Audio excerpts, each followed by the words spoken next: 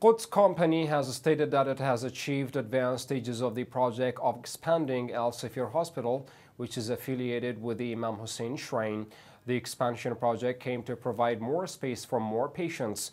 According to statistics by the hospital, more than 700 free of charge surgeries are conducted a month. Hemeed Mejeed, company's manager, said the final stage is being finalized now. The expansion project will add two floors 186 square meters each floor. Mejeed added that the new annex will be equipped with all amenities that meet the patient's needs. He noted that 85% of the project has been achieved so far and it will be completely achieved in 45 days.